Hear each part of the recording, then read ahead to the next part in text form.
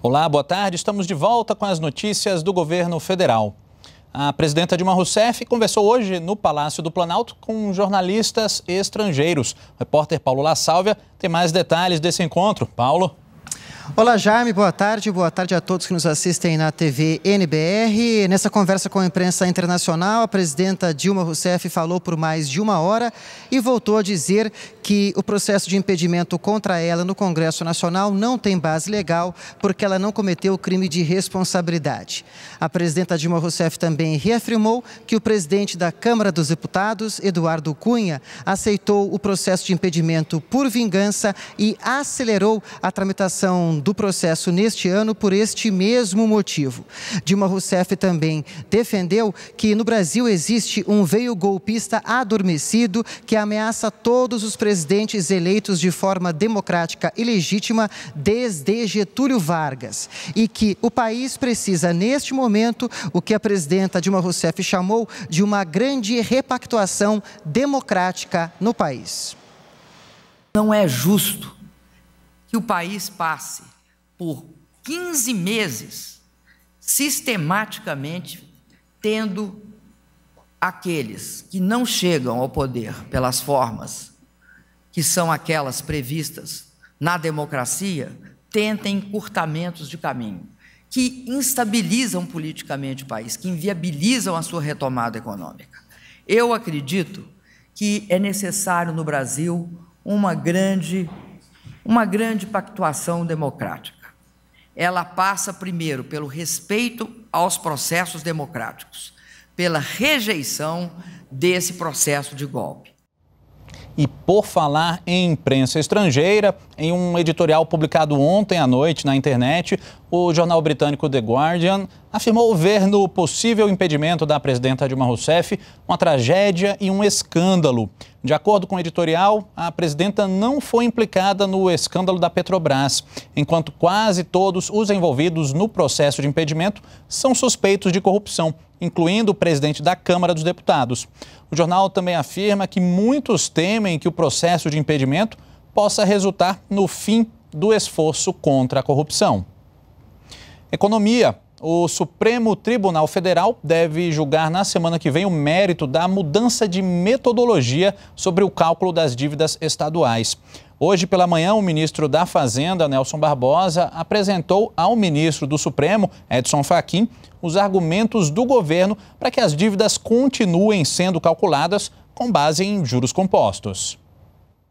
A União está atenta a União está preocupada com as ações, com a situação dos Estados, e a União é sim o ente mais forte, porque nós podemos emitir dívida em, em algumas modalidades que os Estados não podem. Mas existe uma maneira correta de fazer isso, e a maneira correta de fazer isso é adotando uma interpretação dos contratos, primeiro, que não cria uma incerteza jurídica para contratos privados, que não cria um desequilíbrio federativo onde os Estados mais endividados, que, que, cuja folha de pagamento cresceu mais, sejam beneficiados mais do que os estados que fizeram seus ajustes, e que possa contribuir para uma situação fiscal mais sólida no futuro, que faz parte da nossa proposta também uma série de contrapartidas, maior parte delas fruto de discussões com os secretários de Fazenda é, com, e com os governadores.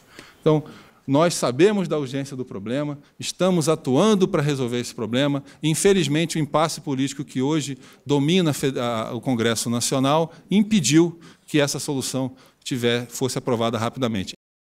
O Ministério do Planejamento, Orçamento e Gestão publicou no Diário Oficial a portaria que autoriza a venda de 138 imóveis em 14 estados e no Distrito Federal. A venda será realizada pela Caixa, que terá 180 dias para publicar editais com as regras da alienação. Estão na lista imóveis que não serão utilizados pela União e as autarquias, como apartamentos, casas e terrenos. Esta é a segunda autorização publicada em 2016. Outras informações no site da Caixa, caixa.gov.br. Está sendo realizado no Rio de Janeiro mais um evento teste para os Jogos Olímpicos. É uma disputa do tiro esportivo, um esporte de precisão que exige força, resistência e preparo psicológico.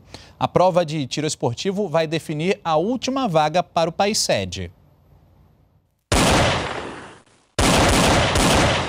Nesse esporte, até a própria respiração do atleta atrapalha a pontaria.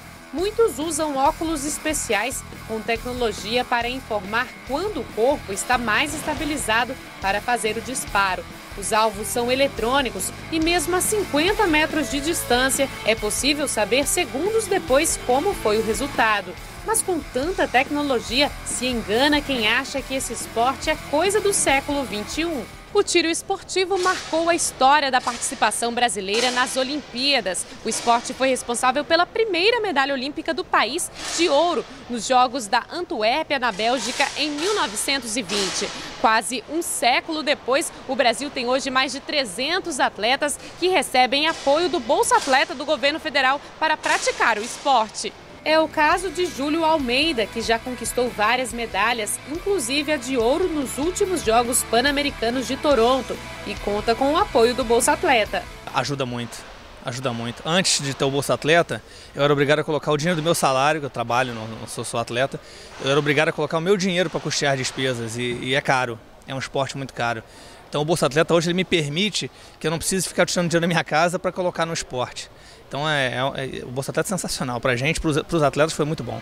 O complexo, que tem área total de 50 mil metros quadrados, foi construído para os Jogos Pan-Americanos de 2007 e depois reformado para abrigar as Olimpíadas e Paralimpíadas, com recursos federais que somam cerca de 38 milhões de reais. É o mais moderno da América Latina, como afirma o técnico do brasileiro Felipe Vu, que hoje lidera o ranking mundial. En Latinoamérica no tenemos un escenario como este, este es el único. Desde os Jogos Pan-Americanos de 2007, esse estande foi já construído com os alvos eletrônicos. Então, em nenhum lugar no Brasil a gente tem estandes de tiro com alvo eletrônico. Com alvo de papel tem muitos.